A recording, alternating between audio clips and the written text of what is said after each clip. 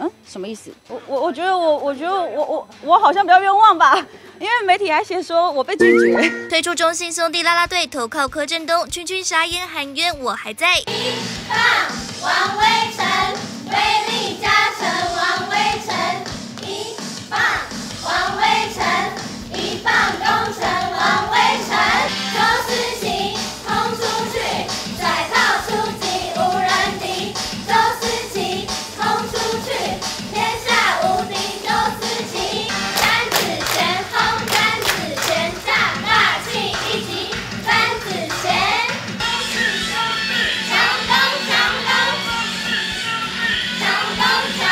强攻。君君日前传出将出走啦啦队，由意转型为艺人。十七号他出席球团活动，公布自己背后为群群的谐音七七，让谣言不攻自破啦。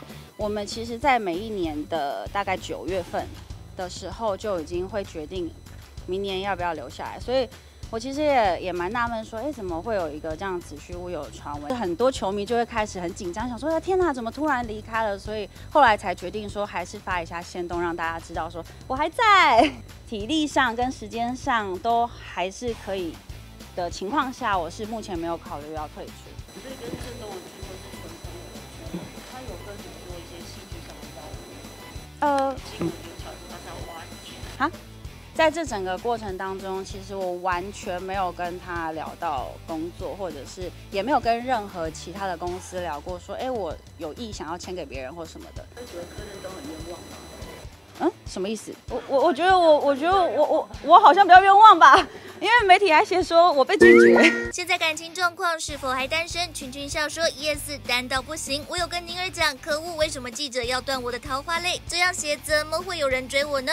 而成军十年的中信兄弟啦啦队队员维持去年的十七人，除了前队员 Julie 回归，也另外加入两位新成员。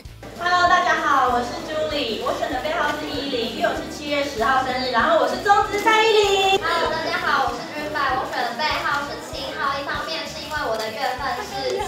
出生，然后另外一方面呢，我觉得七这个数字很像表演完站在舞台上感谢大家的姿态。哦，大家好，我是新队员曼荣。那我会选择十八号当我的背号的原因是，两年前我踏进啦啦圈的时候，那时候我就选了十八号。啦啦圈，我会就是 希望可以提醒自己，就是不忘初心，然后继续在这边努力。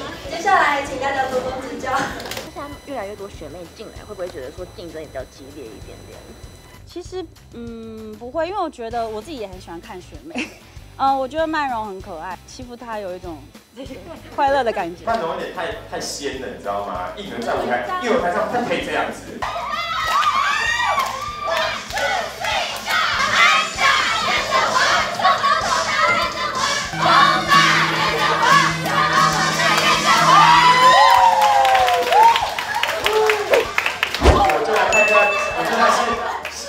祝他有一种快乐的感觉。